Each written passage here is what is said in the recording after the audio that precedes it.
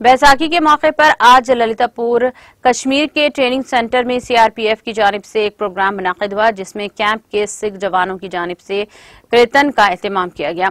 Programme में inspector general CRPF Kashmir M S Bhatia मेहमान खसूसी के बतौर मौजूद रहे।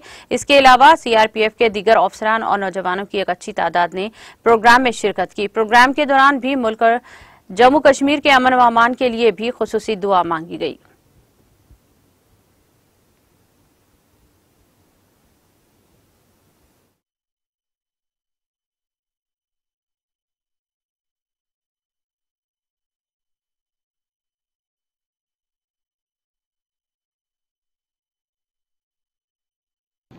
देखिए, जो हमारी फोर्सेस हैं, उनमें एक परंपरा है कि हर त्यौहार को पूरे जोश के साथ मनाया जाता है और आज बैसाखी का त्यौहार है। तो एक बहुत ही पावन मुबारक दिन है और इसको आज यहाँ मनाया गया है।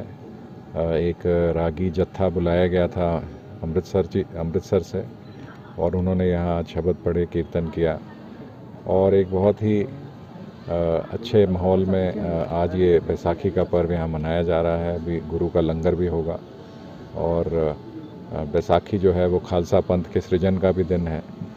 तो इस पर्व पे मैं आज सब आप सभी को और आपके जो दर्शक हैं उन सबको भी बहुत बहुत बधाई और शुभकामनाएँ देता हूँ। सर कि यहाँ खुशहाली रहे अमन चैन रहे और यहाँ की जो आवाम है वो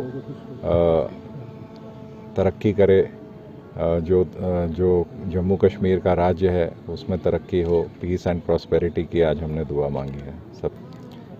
देखिए, अमरनाथ यात्रा के लिए सिक्योरिटी अरेंजमेंट्स और बाकी जितनी भी तैयारियाँ हैं, वो अभी शुरू कर दी गई हैं। और लगातार जितने भी उसमें स्टेक होल्डर्स हैं, उनके साथ मीटिंग्स का सिलसिला शुरू हो गया है। पिछले साल की यात्रा बहुत ही शांतिपूर्ण ढंग से संपन्न कराई गई थी। और उसमें पूरे शरणार्थी जो हैं वो पूरे देश से आए थे जो जिन्होंने दर्शन किए। तो इस बार भी हम उम्मीद करते हैं कि एक अच्छे माहौल में इस यात्रा को हम संपन्न कराएँगे। जो भी दर्शनार्थी हैं, उनका हम स्वागत करेंगे। और एक, जो अमरनाथ यात्रा जो